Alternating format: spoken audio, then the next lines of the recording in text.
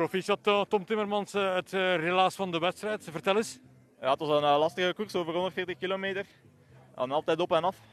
En er waren veel aanvalspogingen. Ik ben een paar keer meegesprongen. En in de laatste ronde konden we dan met ongeveer 10 man wegrijden.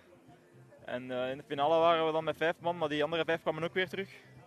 En ik draaide beneden als derde en direct na de bocht ben ik direct vol aangegaan en kon ik het mooi houden en er wel wegspurten tot op de meet. Had je dit kunnen hopen, kunnen dromen in feite, deze trui? Ik wist dat ik in vorm was, ik heb al regelmatig gekoerst. Eh, dinsdag heb ik ook een interclub gewonnen, maar om het hier af te maken had ik nooit ervan dromen. Eh, een veel te mooie koers om eh, van te dromen om hier te winnen.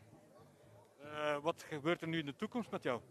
Geen idee, ik werk voltijds en ik denk dat dat zo zal blijven. Ik weet dat ik een goede coureur ben, maar voor prof te worden moet je, moet je vooral veel mensen kennen.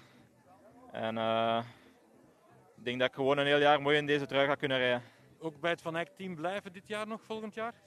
Ah, ik denk van wel, ja. Zijn er geen toekomstplannen, geen concrete gesprekken aan de gang? Eh, nee, nee, nee. Ik, eh, misschien dat dat nu gaat komen, maar ik weet niet. Ja, ik ben heel content bij de ploeg. Eh, ik rijd er al eh, vanaf eerste jaar belofte bij. Dus ja, eh, het zal mooi zijn om in deze trui bij de ploeg te kunnen rijden. Oké, succes alvast voor de toekomst. Dankjewel.